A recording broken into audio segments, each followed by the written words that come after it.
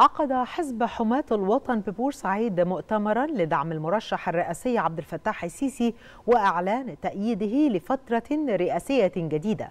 يأتي ذلك بحضور الحملة الرسمية للمرشح الرئاسي عبد الفتاح السيسي ولفيف من قيادات الحزب وأعضائه وعدد من الشخصيات العامة. صرح أمين عام حزب حماة الوطن بأمانة بورسعيد محمد سلامة أن ما حدث على أرض مصر في السنوات الماضية يعد إنجازا بكل المقاييس. لافتا إلى أن الدولة بكل مؤسساتها تقدم كل ما لديها من أجل المواطن المصري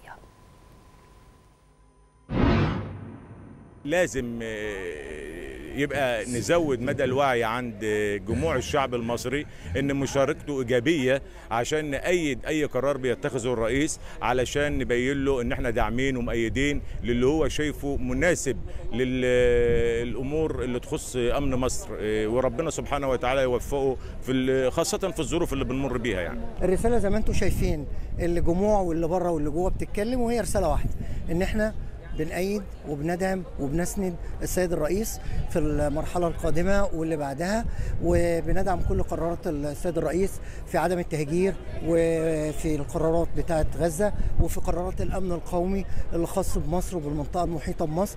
وإحنا طبعا كلنا وراه وإيد واحدة وشعب واحد واللي الرئيس عمله من إنجازات في الفترة اللي فاتت هي اللي بتتكلم عن نفسها سواء كان في الإسكان أو الصحة أو التأمين الشامل هنا في بورسعيد عندنا حاسين بيه جدا. إحنا لازم نساند القيادة السياسية لأن مساندة الشعب المصري القيادة السياسية بيدعمه قدام العالم كله علشان تبقى قراراته مؤثرة وعشان يستجيب لها الناس.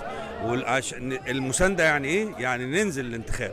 يعني كل واحد ده حقه المشروع القانوني إنه ينزل علشان يساند القيادة السياسية في القرارات السياسية القوية والحساسة في هذه المرحلة العصيبة اللي إحنا بنمر بيها.